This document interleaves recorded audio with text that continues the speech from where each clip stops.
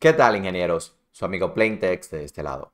El día de hoy vamos a trabajar la máquina Soccer de Hackthebox. Soccer es una máquina fácil en Linux que nos presenta una temática para aquellos que les gusta el fútbol.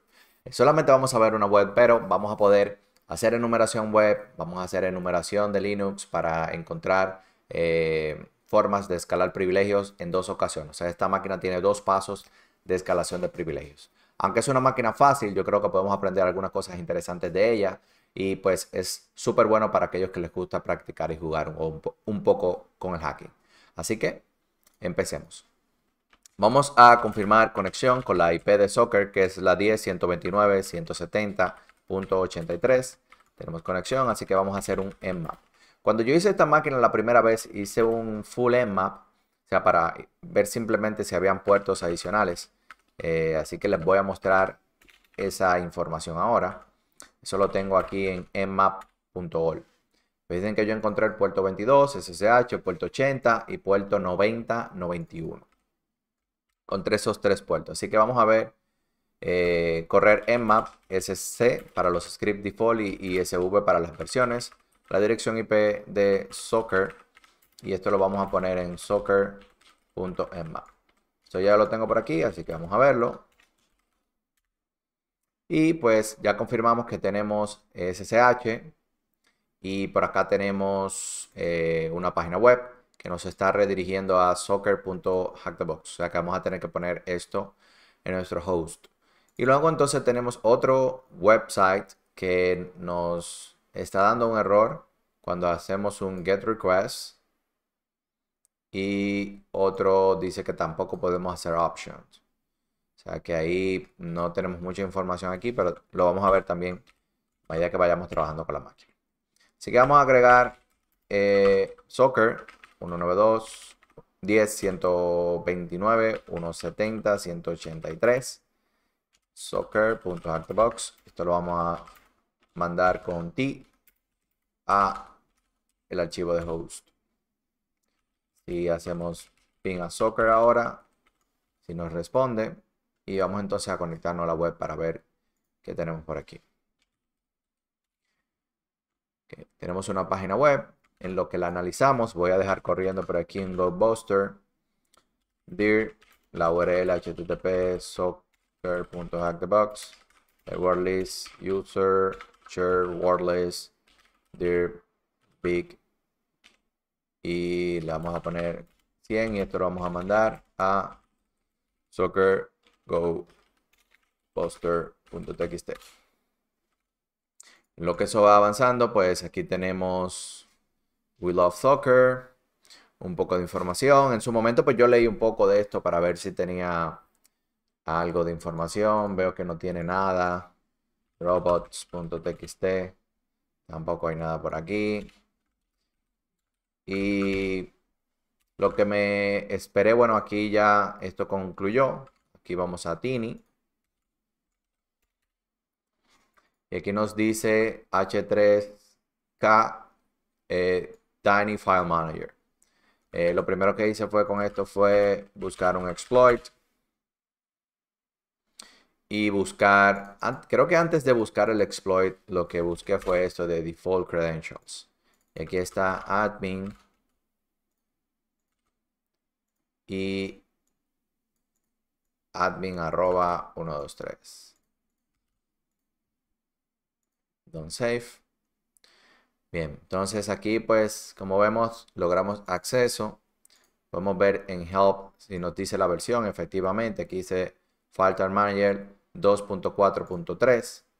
Y entonces eso básicamente nos permite buscar un exploit si existe. Eh, de todas formas, aunque yo probé el exploit, lo vamos a probar ahora. Al final terminé haciendo el manual. Vamos a crear un directorio que se llame Tools.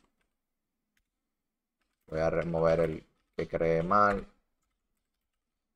Y aquí hacemos git clone del contenido de este exploit. Python 3. Entonces básicamente lo que nos dice es que ponemos la URL, el nombre de usuario y el password. Y esto no eh, nos permitiría pues subir un archivo de PHP al webroot para tener ejecución de código.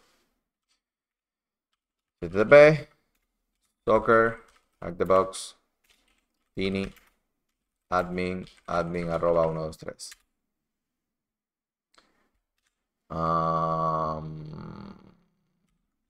maybe tengo que ponerle por aquí esto o poner esto completo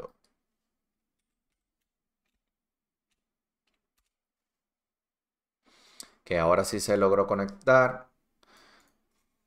En su momento no me funcionó, cuando viene a ver ahora funciona, pero ahí les muestro. Exacto, aquí fíjense que dice que el folder especificado no, no se podía escribir. Si vamos aquí al File Manager, por ejemplo, si yo intento aquí darle Upload, vamos a buscar un Rebel Shell Online, aquí está y vamos a confirmar la IP nuestra. Efectivamente 14.4, así está bien.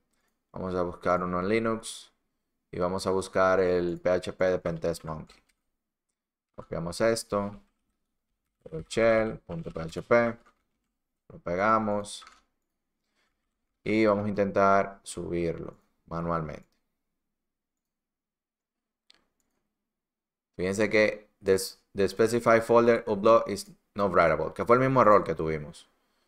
Vamos a intentar hacerlo aquí. Aquí hay un upload. Vamos a intentar hacerlo en el upload.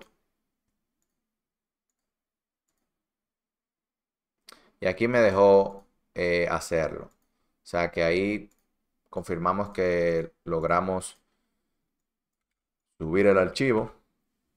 Vamos a ver uploads y vamos a poner un,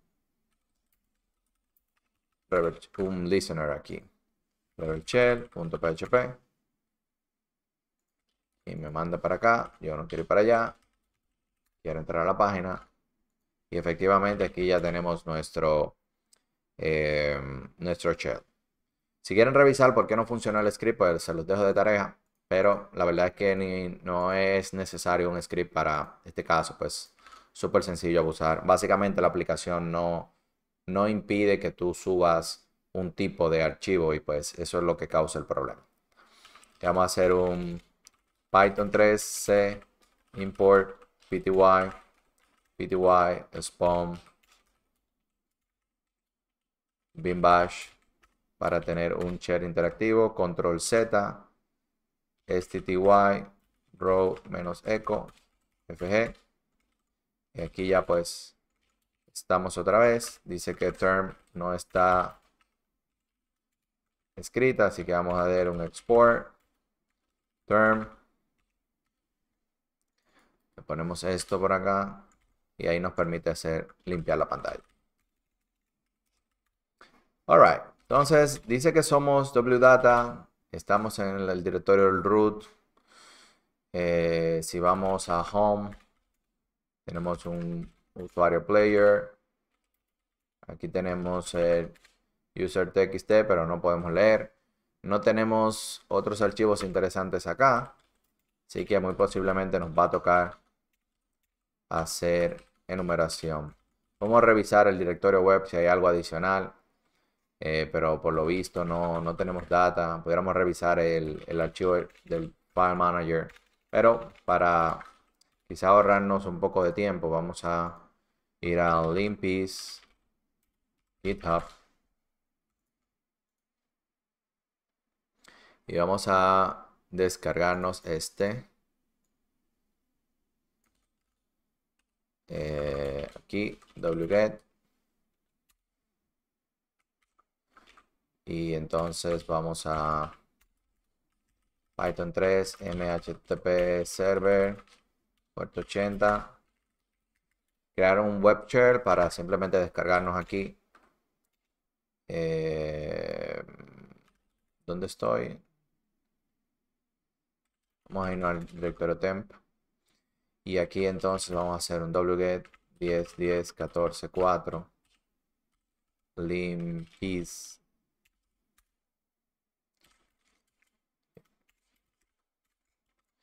Este script pues, básicamente nos va a permitir enumerar de manera automática eh, el equipo para tratar de identificar oportunidades de escalación de privilegios.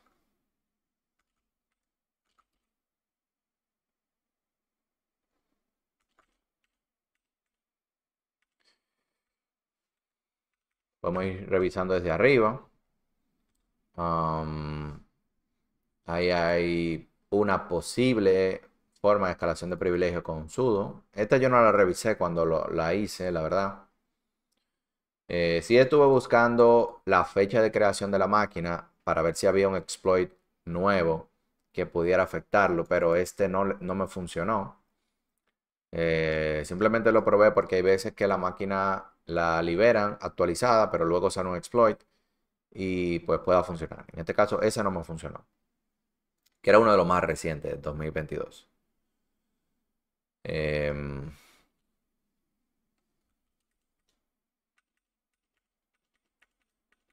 poquito para arriba. Mucha información.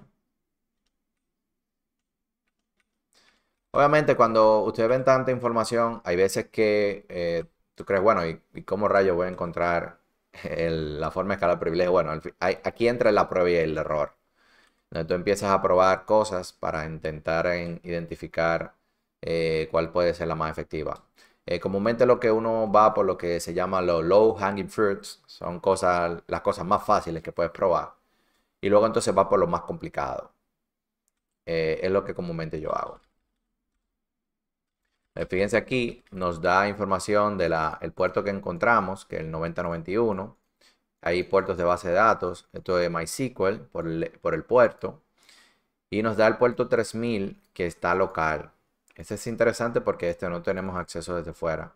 Y podemos ver si hay algo adicional acá. Eh, Bien, entonces vamos a ir al punto entre las cosas que pude ir revisando está la parte de las, esto que ven aquí. Si ustedes se fijan eh, en Engines, eh, NGX, eh, que es el motor o digamos el, framework que se está utilizando para la aplicación web. En este caso, pues tú puedes configurar diferentes sitios en un mismo servidor. En este caso, el sitio que nosotros estuvimos analizando es Soccer box Pero si se fijan aquí, aquí hay un soccer slash punto eh, soc slash player punto soccer punto box Y este se conecta a la, al localhost, que fue el, puerto que vimos adicional. O sea, este no lo tenemos. lo que pudiéramos hacer es, um, para validar si es el mismo equipo o no, hacemos un eco y es 129 170, 183. Em, y le ponemos el puerto, que, la, el nombre que acabamos de identificar. sudo t-a, etcétera, host.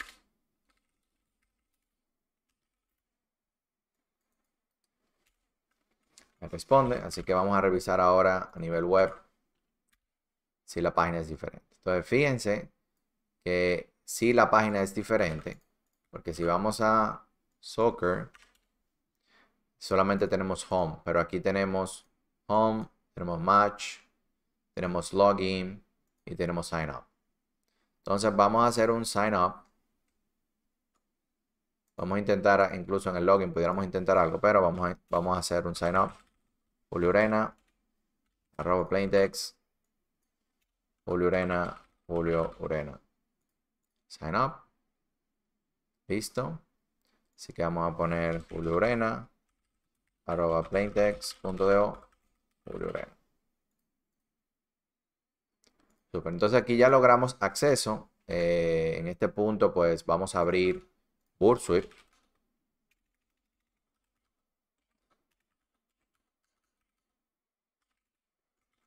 sudo Burswip. Creo que lo tengo up. Bullswip. Bullswip. Vamos a abrir Bullswip. Simplemente para como vamos a analizar ahora una aplicación, pues me gusta tenerlo corriendo en el background, simplemente para darme cuenta de algo que, que no me vaya a dar cuenta de forma normal. Entonces me dice tickets, un sistema de tickets. Please don't forget your ticket number. Tenemos uno. Dice que el ticket no existe. Si vamos... Ok, no estoy... Eh, no estaba escuchando en el, en el proxy. Ahora si pongo ticket 1, ticket 13.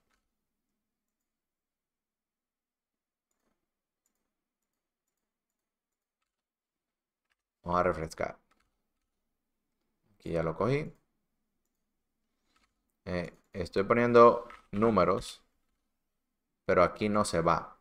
Entonces, en este caso, muy posiblemente lo que esté sucediendo es que sea WebSocket.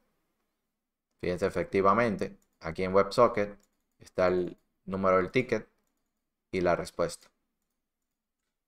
Eh, el WebSocket es, otro, es otra forma de comunicación que se puede, puede, existir dentro de aplicaciones web. Creo que recientemente hicimos una máquina que estuvimos trabajando con WebSocket. Eh, bueno, sí, la, última, que hicimos un exploit eh, para poder atacar un servicio web que utilizaba WebSocket. Pues básicamente aquí tenemos lo mismo.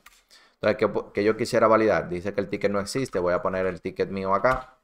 Dice que el ticket existe. Si yo, por ejemplo, pongo un número que no exista, el 1 en este caso, y le pongo un OR, como vimos que es MySQL, voy a intentar hacer un ataque de SQL injection con, le voy a decir que duerma 10 segundos. Vamos a ver aquí qué va a pasar y le voy a poner comentarios aquí le di a enter, no, no me, dice el ticket existe todavía. Fíjense que aquí empezó la comunicación. Pero no ha llegado la respuesta del servidor.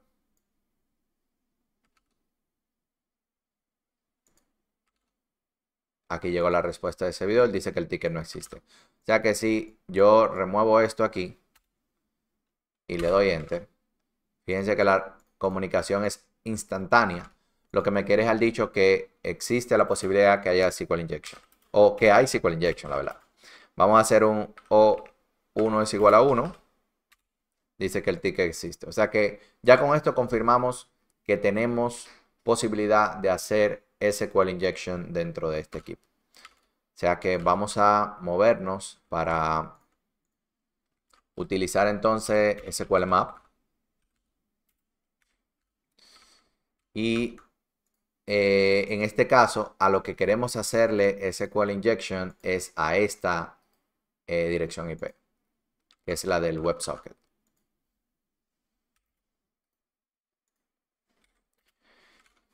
Entonces, eh, aquí pues queremos pasarle esta data, que es el mensaje que se está enviando. Vamos a pasar con, vamos, data Le voy a quitar esto aquí.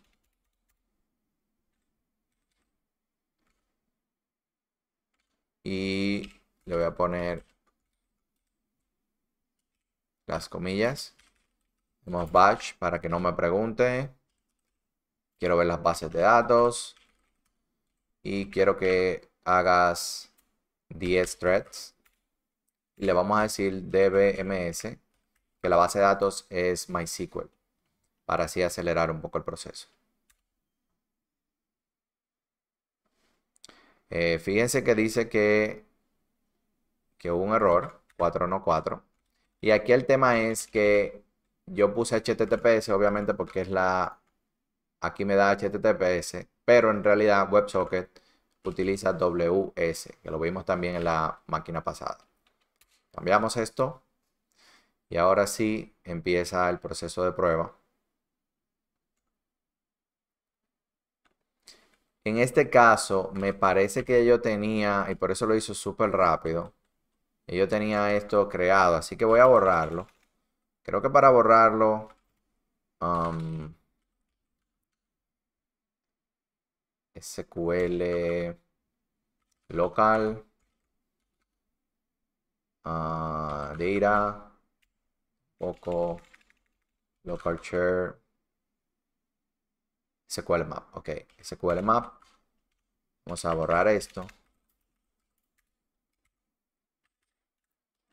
Hice eso porque eh, ya, yo, ya, yo, había resuelto la máquina. Entonces aquí básicamente lo hizo eh, prácticamente automático.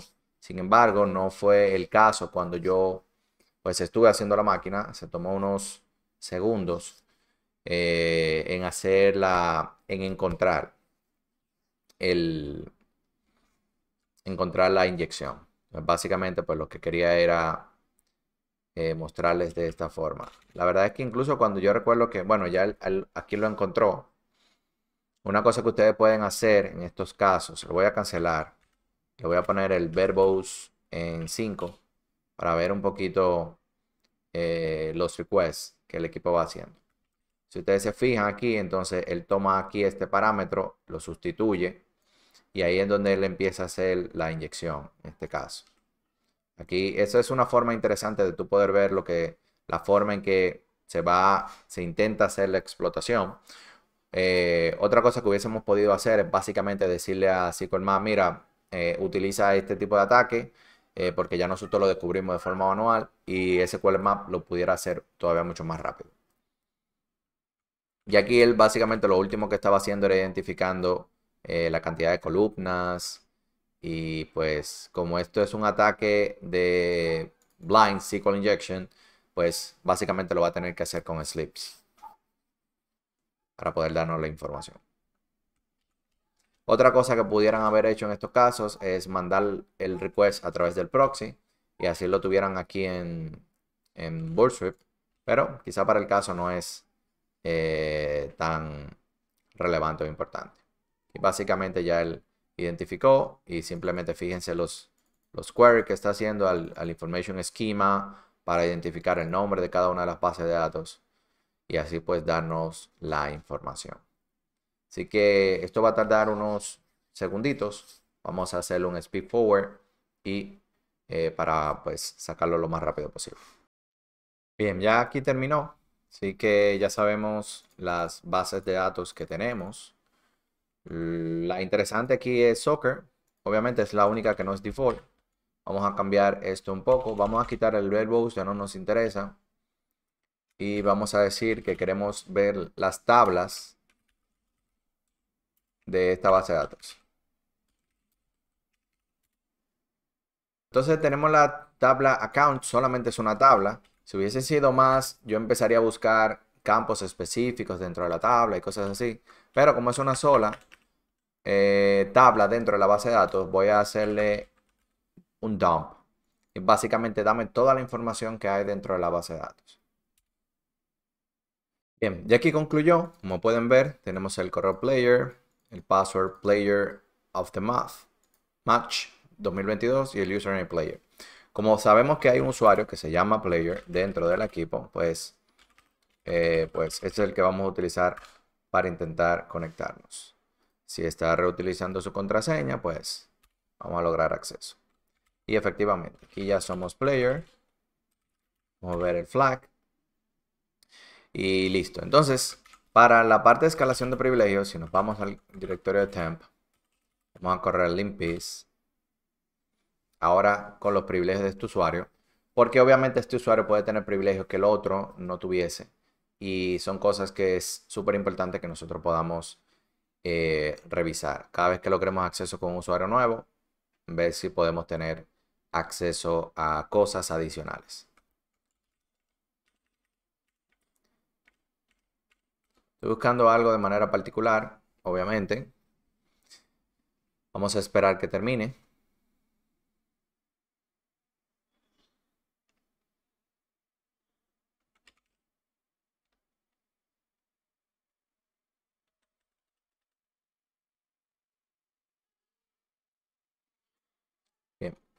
Entonces, aquí fíjense que estamos haciendo una revisión de los archivos que tienen su ID habilitado. Esto quiere decir que nosotros podemos ejecutar ese archivo como root.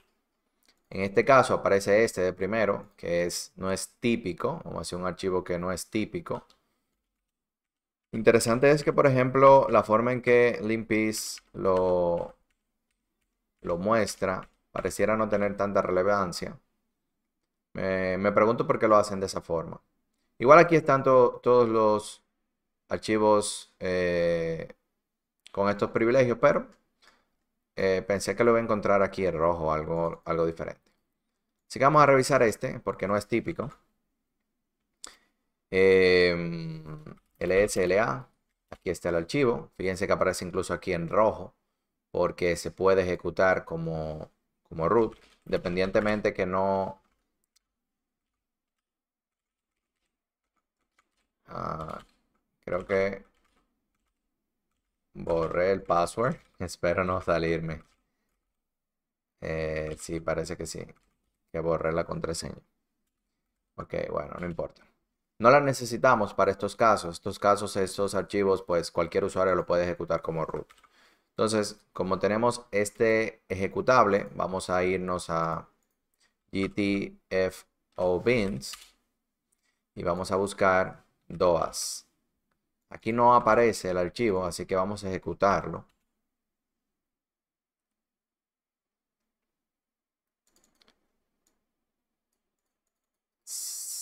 Y vemos, ok, ya recuerdo qué fue lo que hice en este caso. En este archivo, pues eh, hice una búsqueda, me parece que fue incluso en ChatGPT. Those uh, file Linux.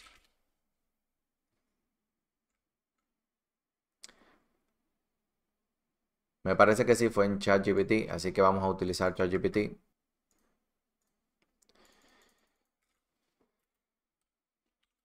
¿Cómo puedo utilizar? Esa es una forma. La otra que tenemos es ver si tiene un MAM. Entonces aquí dentro del MAM, pues pudiéramos leer un poco y entender cómo pudiéramos ejecutar.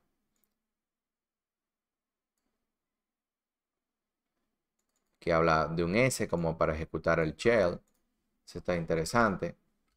vamos a vernos qué nos dice eh, ChatGPT. O sea, yo pongo DOAS y pongo un, número, eh, un comando. Vamos a ver. Eh, who am I? Dice que la operación no es permitida. En este caso. Otra de las cosas que si se fijan, tenemos por aquí es un archivo de configuración. Eh, vamos a ver si podemos... Eh, cuál es el archivo de config de DOAS.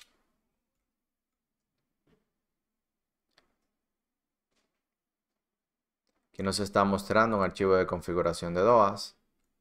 Supuestamente está en, este, en esta ubicación. Vamos a ver. Ups. doas.conf dice que no fue found.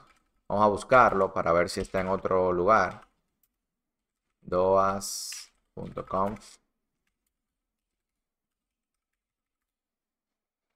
Aquí lo encontramos. Y fíjense que dice permit no pass player as root. Eh, cmd de stat. O sea que básicamente permite que nosotros ejecutemos este archivo como root. Eh, lo primero que yo hice en este caso fue que hice, copié este archivo. Vamos a copiarlo aquí donde estamos. Y eh, hice una modificación del archivo de configuración. Simplemente para ver si podía hacer un bnsh, por ejemplo y hacer lo siguiente. Ejecutar DOAS, el archivo de configuración, que lo, si, lo, si se fijan aquí, lo vimos aquí. DOAS conf y who el comando. Entonces fíjense que nos dicen deny, o sea, esta operación no la podemos hacer. Así que vamos a abusar del archivo de configuración que existe, que nos permite ejecutar de ese stat. Así que ese sí lo vamos a buscar en stat Y aquí nos dice, tenemos dos formas. Se puede utilizar para salir de un restricted, un, un environment restricted, o lo podemos utilizar para ejecutarlo como sudo, que es el caso nuestro. Vamos a copiar esto. Eh, si ustedes se fijan, lo que esto está haciendo es creando un script de, de Python para ejecutar SSH, o sea, un shell, y esto lo está guardando dentro de este directorio. Esto siempre y cuando pudiéramos escribir, escribir en ese directorio. Aparentemente sí podemos. Luego lo ejecutamos de... No lo vamos a ejecutar así, sino que lo tenemos que ejecutar con el DOAS. DOAS de stat y XXX, que es este, aparentemente estas 3X que pusimos aquí. Así que la operación no es permitida. Eh, vamos a ver si le ponemos el path completo. Aquí sí. UMI, somos root. Listo. Entonces, esta fue la máquina Soccer, una máquina súper interesante. Espero que les haya gustado, que hayan aprendido algo nuevo y nos vemos en la próxima.